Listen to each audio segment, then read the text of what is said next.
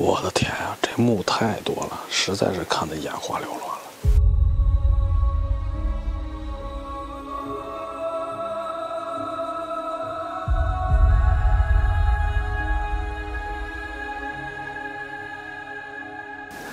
大家好，聊正是谈秘境，我是囧叔。今天啊，带大家看一座全国唯一的全面展示晋国文化的一个平台啊——山西曲沃的晋国博物馆。那么说，这一博物馆有什么可密的呢？是吧？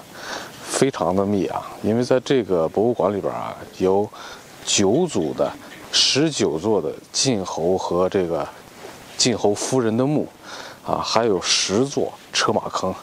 而且是咱们中国发现的啊，全国最大的这个商周时期的车马坑，比秦始皇的这个陵寝里的车马坑啊早了六百年啊。然后这个晋国呢，它应该是春秋时期啊最强大的国家之一啊，或者甚至是没有之一啊。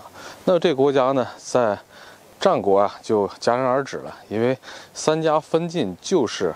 春秋到战国的一个分界点，啊，所以呢，可能很多朋友啊，对晋国来说啊，是相对来说比较陌生的，啊，那今天呢，咱们呀，就通过我的镜头给大家聊一聊晋国到底是怎么回事。那么这个晋国的这些王侯墓啊，为什么会在曲沃？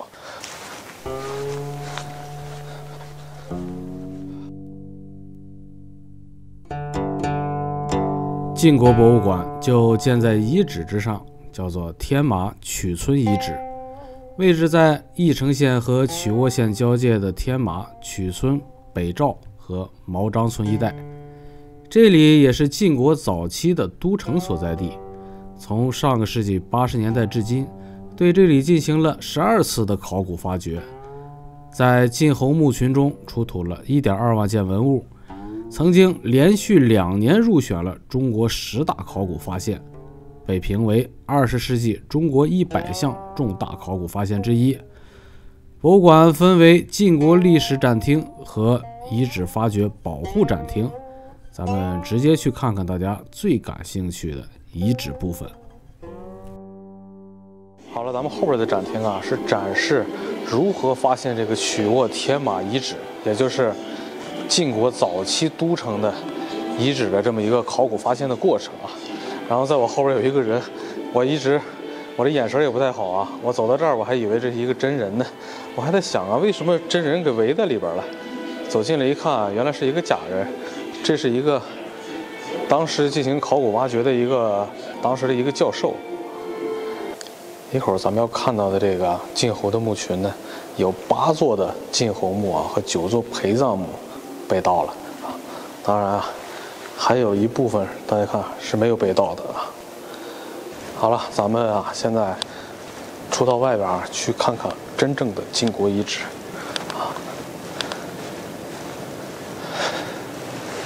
这个下边是车马坑，大家看啊，这密密麻麻的马的尸骨，那边是密密麻麻的古战车。这个车马坑最少有四十八辆车和一百零五匹活驯的马。所以咱们看啊，这些马并不是整整齐齐的摆在那儿的，而是被推下坑后射杀致死。所以现在呈现的是挣扎状，他们的身上啊还有剑簇的痕迹。马和车之间有个生土的隔梁，隔梁的西边是车辆，包括有礼仪车、战车和辎重车。因为年代太久，车辆的木结构已经完全腐朽在土中，所以只能看到土的轮廓。另外，还有一个罕见的发现——装甲车，也就是用青铜铠甲片保护着的战车。古人相信人死后还能享用生前的车马，所以当时就按墓主人的级别，把全套的车马葬在了陪葬坑中。那么，这位墓主人是谁呢？晋国的第八位国君晋献侯姬吉，献侯葬于公元前八一二年，也就是说，这个车马坑比秦始皇的兵马俑还早了六百年。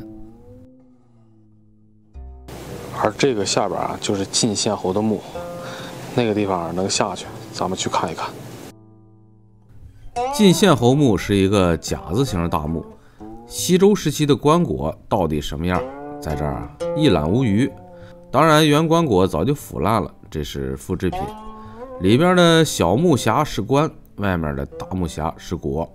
荀子理论中记载，诸侯三棺两椁。可是这个献侯的墓中呢，只有一棺一椁，而棺椁的下面是厚厚的木炭，起到吸水的作用。当时的椁相当于后来的墓室，所以随葬品是放在椁内、棺外的，而棺材内的玉器原来是穿戴在主人身上的。这座墓因为曾经被盗，文物损失了不少，其中啊就有最著名的晋侯苏钟。在钟身上铭文记载了周厉王三十三年，晋侯苏，也就是献侯姬吉，跟随周王亲征的历史。但是这个晋侯苏钟经历了一段曲折离奇的故事。简单的说啊，苏钟一共有十六座，被盗走了十四座。这十四座编钟曾经流失到了香港，当时普遍认为它是赝品，直到在这儿发掘出了剩余的两座，经过比对才知道啊。那十四座竟然是真品。这是晋献侯的夫人墓。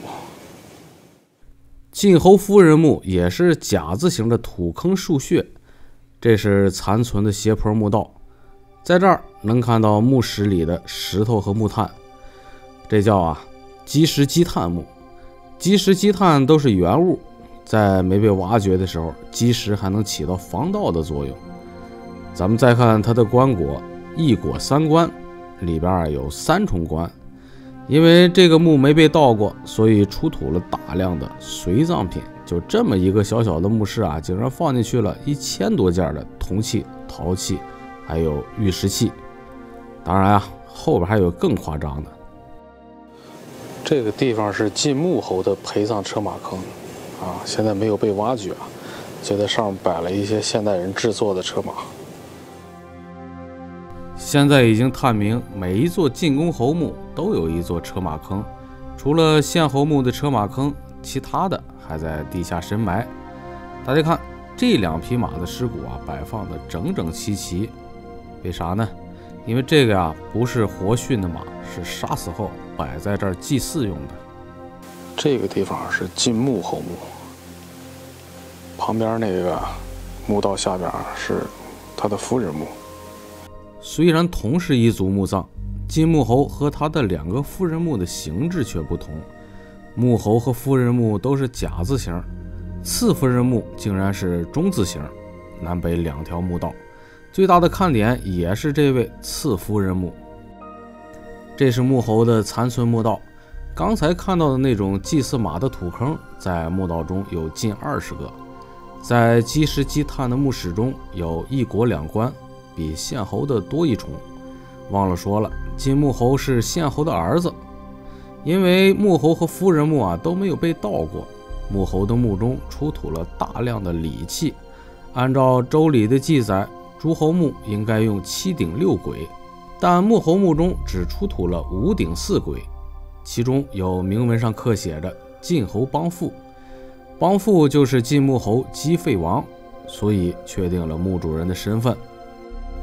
那么，根据《晋国史纲要》的记载，晋穆侯迁都于绛，绛这个地方啊，很可能就在这附近。次夫人名为姬，来自于姬姓的杨国，所以叫杨姬。他的墓可以通过墓道直接走到墓室上方参观。虽然也是一国两棺的配置，却出土了四千二百八十件的随葬品，超过了穆侯和大夫人墓总和的三倍以上。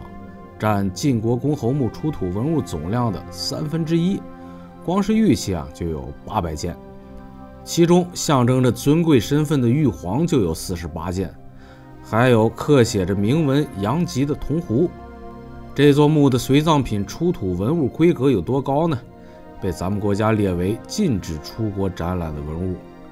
我想啊，这说明两个问题：第一，穆侯特别喜爱这位杨姬夫人，赏赐了她大量的珍品。第二，他可能是历史上最早的收藏家之一，而且把这些藏品啊都埋到了墓中，留给了咱们后人。我的天啊，这墓太多了，实在是看得眼花缭乱了。由于天马曲村遗址中发掘的古墓数量太多，形制相似，咱们就不看更多的墓葬了。如果大家有兴趣，我可以把更多的墓葬放在下集，再跟大家聊一聊晋国的来龙去脉和六百多年的风云变幻。